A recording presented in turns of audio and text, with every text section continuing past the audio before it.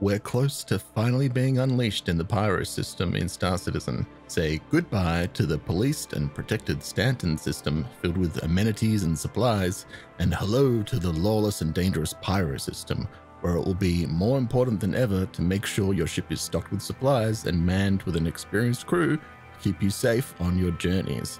But there's something seriously concerning that CIG removed from the game that is going to hamper that experience and so far, I haven't heard them say a word on if it is going to be fixed for Pyro. So let's talk about it.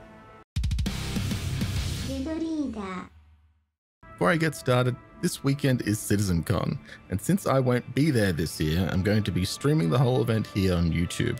And we'll be running an interactive bingo competition where I'll be giving away heaps of ships with LTI and Star Citizen game packs for those who win.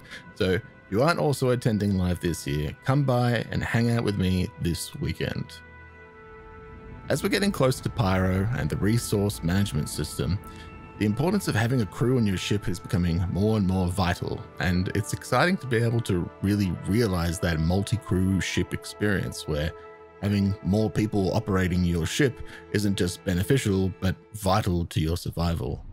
One of the core experience differences with the Pyro system compared to Stanton is that sort of lost in space and an unfriendly landscape vibe, which I know for myself and for a lot of other people who play Star Citizen is one of the milestone gameplay experiences we've been waiting for these past 10 years. Be able to play more nomadically, off the grid and reliance of the same few space stations that we have in Stanton. But CIG made a change to how multi-crewing kind of worked at its core a couple patches ago that has functionally ruined the prospect of that experience largely even being possible that I really hope they correct before we get access to Pyro. In a nutshell, it's bed logging. During an update to stop people from combat logging, CIG made it so that if anyone other than the ship owner was on the ship, you couldn't use the bed to log off, even if that person was in your party.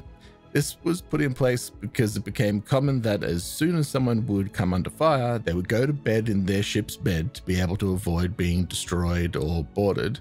So it was changed that if a ship was being attacked or boarded, you couldn't log out with someone else on your ship or coming under fire.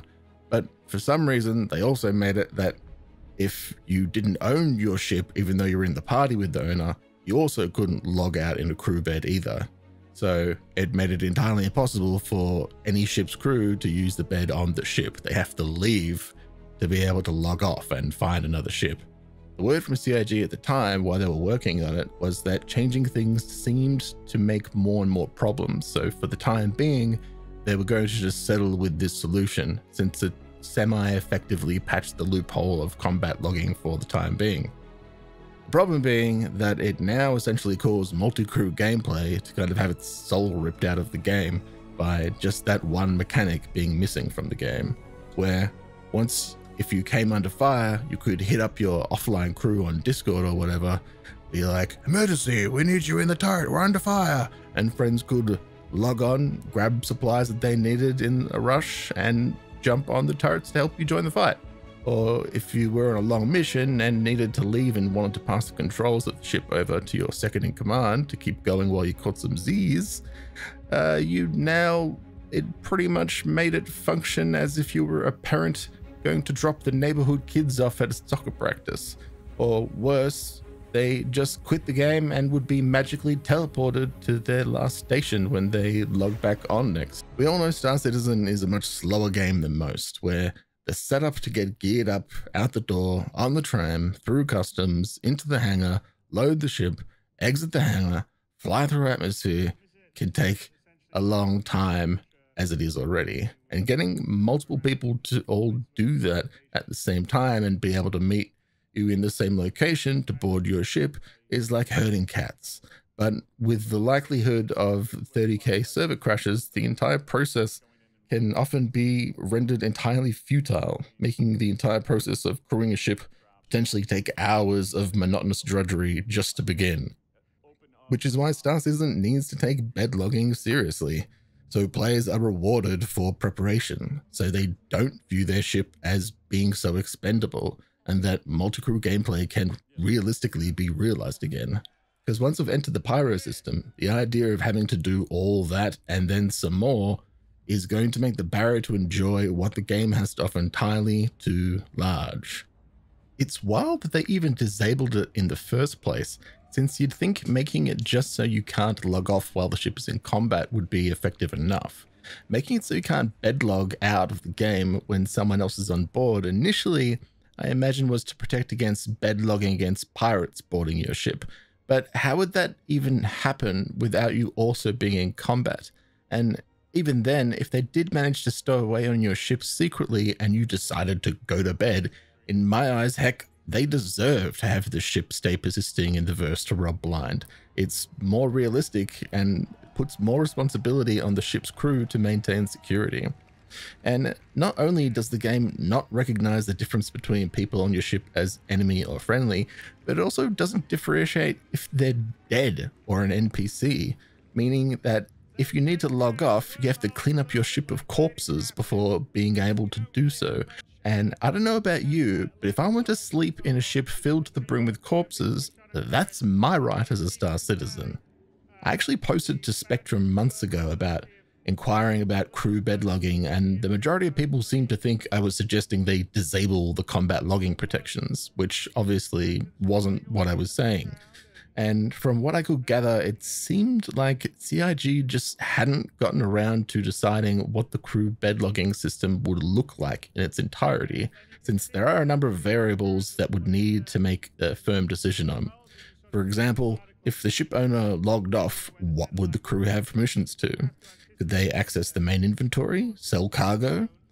Or if everyone was logged off and someone who wasn't the ship owner logged on, would they be able to just take control of the ship and crash it into the ground?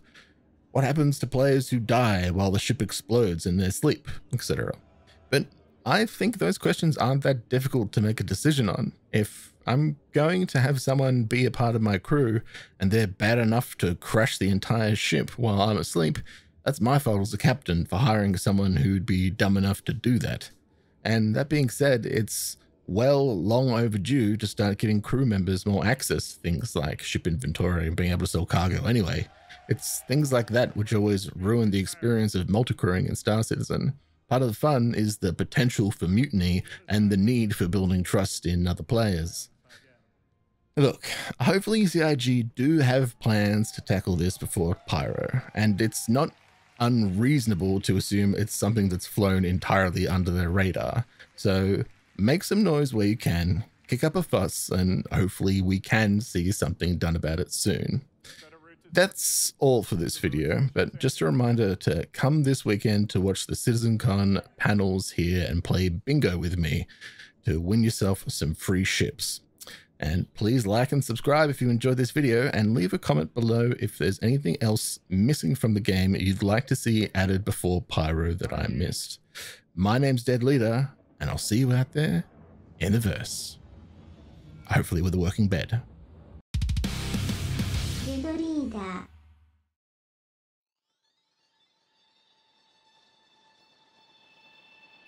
Space.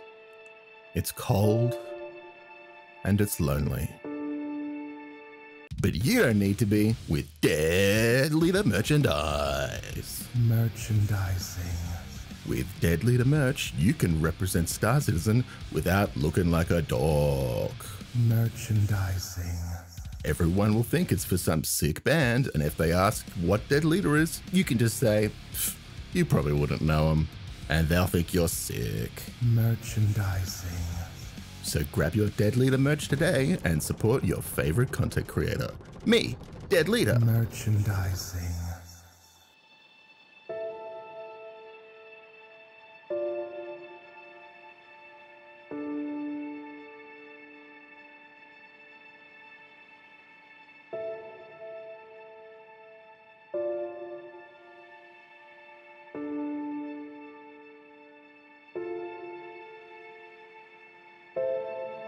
Thanks to my Patreon members. Once beds are working, you're all invited to mine for a sleepover in Pyro.